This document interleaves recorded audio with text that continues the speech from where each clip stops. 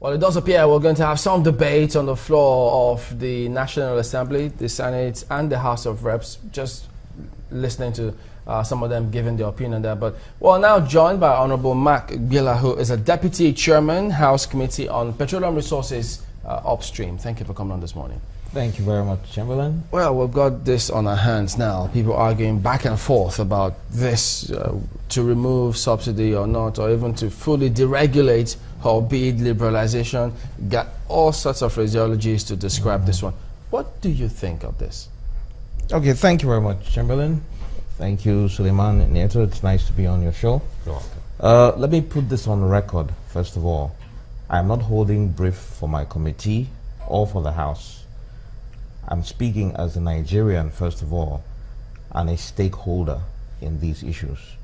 Now, it's important that we break this conversation down to the basic facts because our countrymen Nigerians are too confused about the highfalutin language we use a lot of times to discuss these issues. What are the basic facts? Now, these are the things we need to highlight very importantly. And I want to appeal.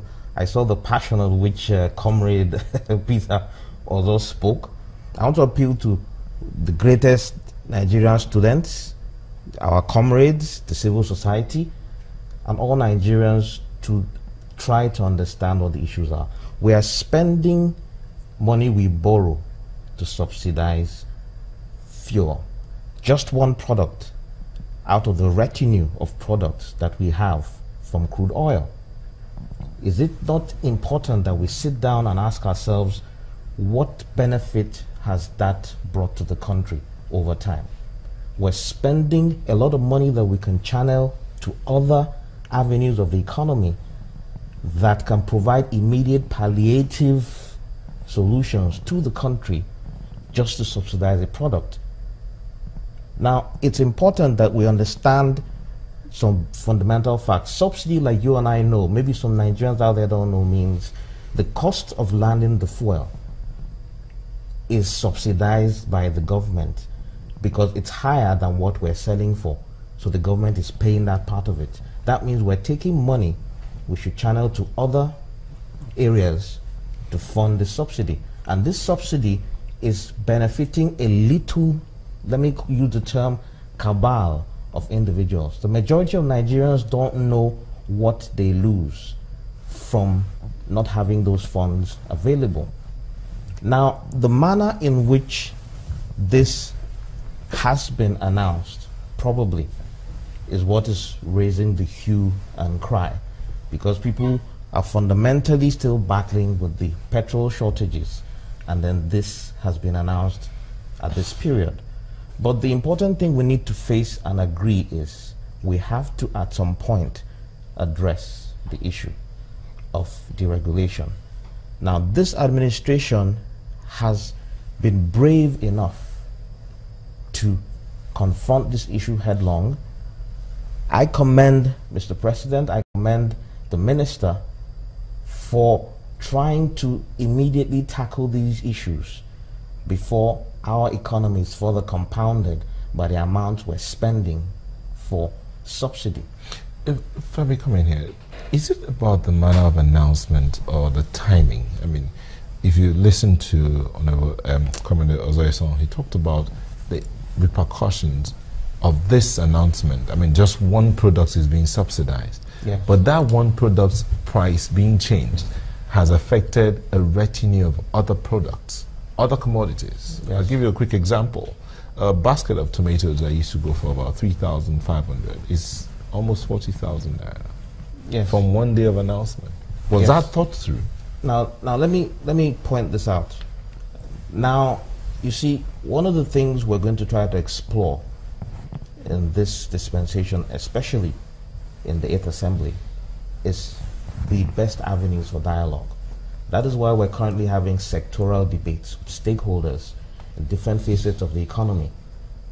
And the ministers themselves are participating in these sectoral debates so that we can discuss specifically the issues in all these areas. The House should publicize that so people can know more about it. Well, it has been on. I'm surprised that you don't know this, and this is where we. Let me quickly say We know some part to of the, them, but not all. to the fourth estate of the realm. We need your cooperation in some of the issues that hinge on the fortunes of our country. I appeal to the chairman of channels to look at how these things can also be brought to the fore for Nigerians to be able to watch. I know your costs of transmission is there to be considered, but you can also consider certain things that are important for Nigerians as a corporate social responsibility. Because- Sometimes, because we don't let me just digress. Yes, I understand. But anyway, that's why we have our because there. Yes, well, so let me just, that's just, you know, an addition, a, little digression. Now, let me point this out now. What, this is a catch-22 situation, the cart before the horse. What would Labour prefer? That we keep the subsidy and keep having lack of resources to provide for their members, or should we deregulate the sector and have more jobs? But this is The member, the, this is not the, a the other- deregulation. sorry? This is not really a deregulation. Yes. Now that is where, as a person, now remember I said I'm not Yes. holding Yeah. for the house. Now that is where, as a person, I think, and I'm speaking to my constituency and Nigerians, we should be brave enough to know that we need to go the whole hog and deregulate That's full deregulation. deregulation because the benefits we stand to gain are much more than these immediate inconveniences and pain that we seem to want to suffer. If you go to an average, the other ex- oil expert that spoke earlier spoke about the US. If you go to Houston, right, you have nodding donkeys in people's backyards. These are drilling equipment that are drilling crude, and anybody can come and collect the crude and refine and sell in their closest market. The government has no involvement in the sector, and it is a thriving economy. There are jobs that are created, a proliferation of jobs. Are you advocating we adopt the same model? Yes, I'm looking at the fact that once we deregulate, we need to make refining as easy, let me use this term, you know, as opening a beer parlor. We have too many bureaucratic processes, and this is where I want to start to advise the government. You see, there are a lot of us in the Congress that hope this administration will realize that we're all working towards one goal there needs to be a lot of consultation.